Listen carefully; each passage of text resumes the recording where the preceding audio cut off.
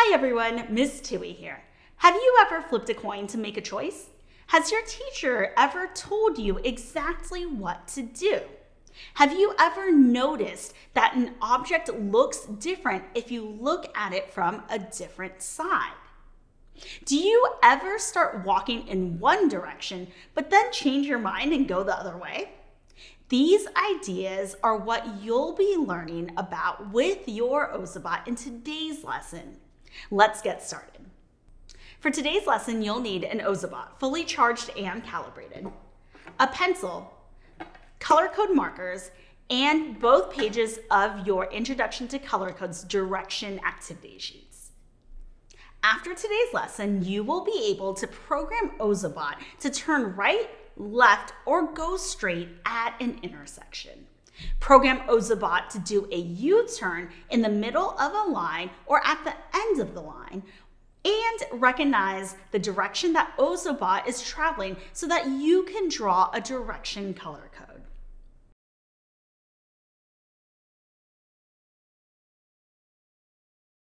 Ozobot is pretty smart.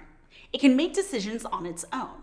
When it comes to an intersection and hasn't been given any instructions about which way to go, it will randomly choose to go left, right, or straight.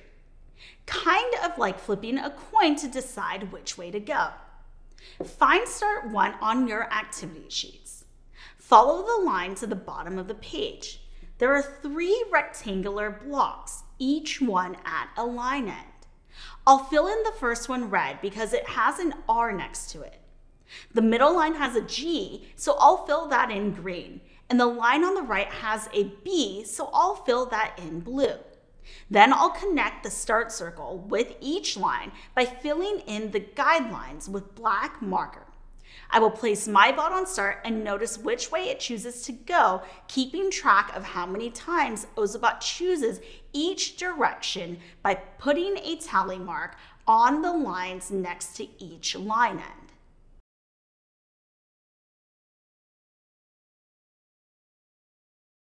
Can you fill in the colors on each line end? Then connect start one with each line end by filling in the guidelines with black marker. Place your Ozobot on start one and put a tally mark on the blank next to the colored line end that your bot chooses. Place your bot back on start one and let it choose a direction five more times. Keep track with tally marks how many times Ozobot chooses each direction. Which direction did your Ozobot choose the most? Which did it choose the least?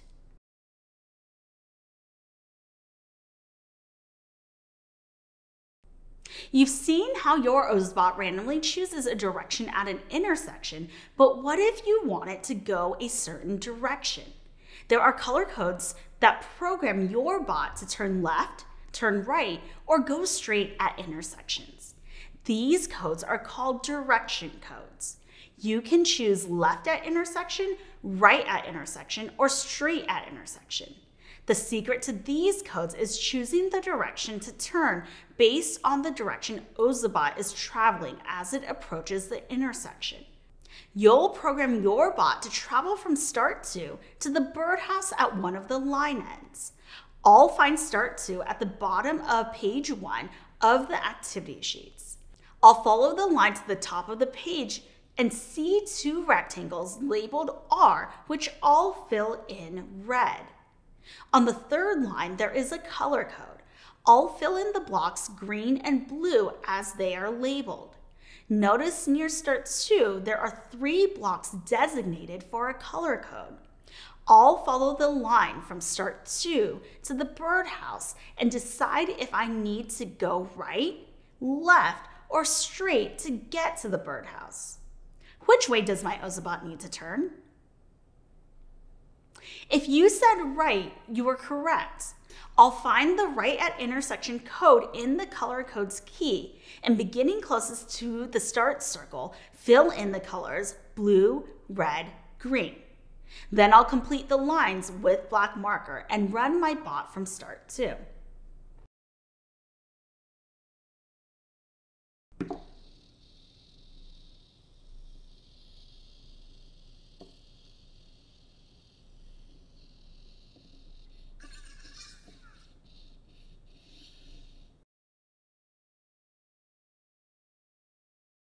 Can you fill in the red rectangular blocks and the color code at the line ends?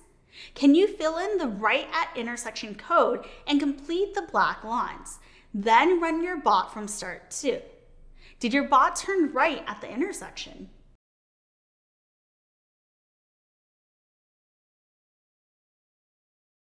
The next two color codes you'll learn about are both U-turn codes. One code is used at the end of a line and the other is used in the middle of a line. Look at page two of your activity sheets and find start three and start four. The U-turn code you will use in the middle of lines has three colors, blue, red, blue. The U-turn code used at the end of a line has two color blocks, blue, red. First, I'll fill in the U-turn code starting with the top line. The code space is in the middle of a line, so I'll use the three block code, blue, red, blue. The U-turn code in the next line down is also in the middle of a line, so I'll use blue, red, blue again. Then the last code on the bottom is at the end of a line, so I'll use blue, red. Notice I placed the blue block on the right of the red block because my Ozobot will come to the blue block first. Once the color codes are filled in, I'll complete the shape with my black marker.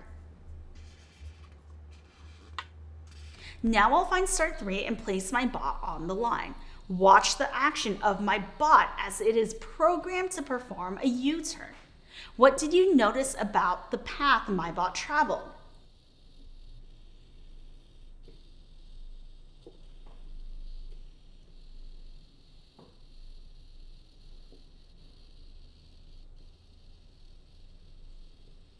Next, I'll find start 4 and place my bot on the line.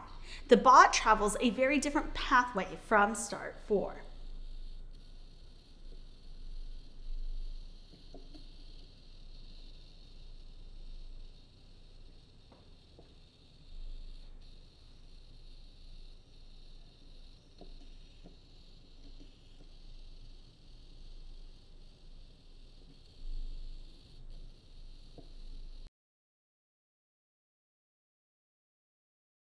Can you fill in all three U-turn codes? Then complete the line with black marker.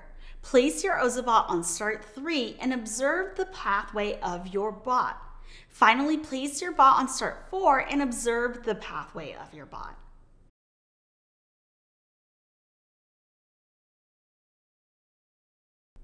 Next, you'll learn more about directionality. When you read English, you start on the left and follow words toward the right. The direction you read in is important. It is the same with Ozobot's reading color codes. The action of the bot depends on the direction the code is read. You'll apply this idea to direction codes.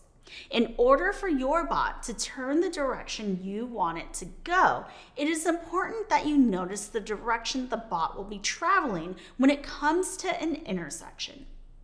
Find Start 5 on page 2 of your activity sheets. Your Ozobot needs to go to the dog, not the snake. I'll fill in the win, exit, play again code, green, blue, next to the dog.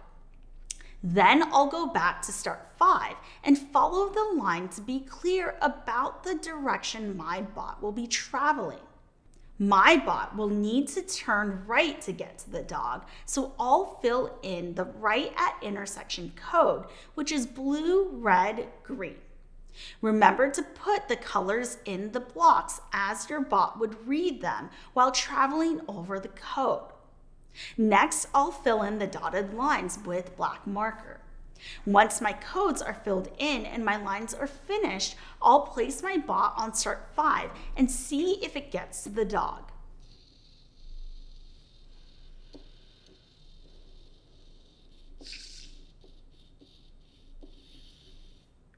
Excellent. Now it's your turn. Can you go to start 5, fill in the win exit play again code next to the dog, and the right at intersection code so your bot will turn right? Then fill in the lines with black marker. Run your bot and watch it celebrate when it gets to the dog. Go to start six. Fill in the win exit play again code next to the trees. Follow the line in the direction your bot will be traveling. You may need to turn your page around so you can follow the line as if you were the bot moving forward. What direction will the bot need to go to get to the trees? Fill in the direction code, then fill in the dotted lines with black marker. Once your codes are filled in and the lines are finished, place your bot on start 6 and watch it in action. Did your bot get to the trees and celebrate? Well done! You've learned a lot about programming your Ozobot in this lesson. Let's check to make sure you've completed everything. Have you tallied the number of times your bot turned randomly from start 1? Did your bot arrive at the birdhouse from start 2? Did you notice the U-turn loops of your bot when it started from starts 3 and 4? Did you use the direction codes to have your bot arrive at the dog and the trees? If you're looking for more to do, you can create your own Ozobot track using the codes that you've learned so far. Come back again soon for our next lesson.